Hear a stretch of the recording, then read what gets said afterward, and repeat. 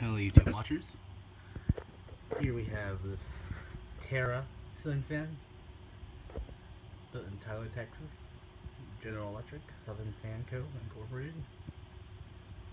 This fan is in brass and white. There's a very heavy duty stack motor in it.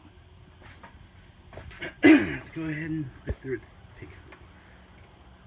Let's go ahead and go through I'm using the controller here because the control knob on the fan has been removed in its previous life. You can always install a new one in there, but uh, good luck finding one. Um, so you're better off probably trying to find something that you uh, cover the hole up. So there's low. Let's go ahead and go to a medium. Around there.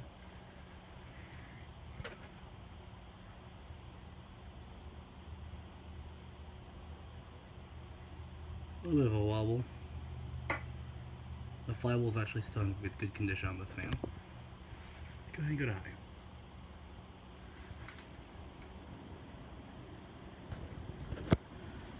High speed, this thing cranks out some pretty good air actually.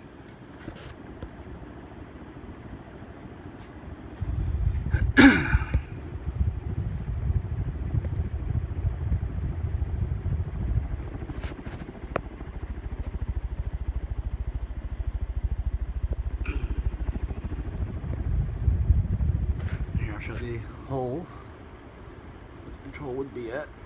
It's out there.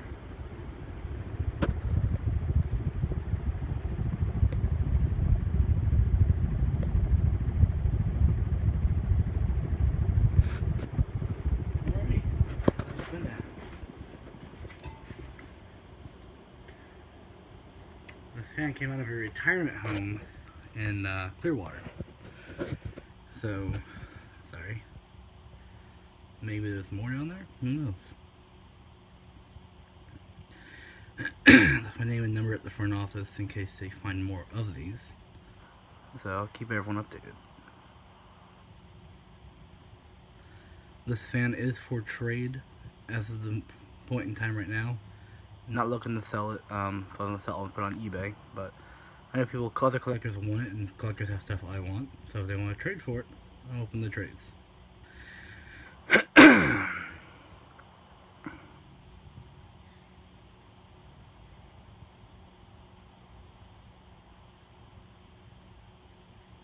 Pretty good spin down on this thing still. There we go. Thanks for watching.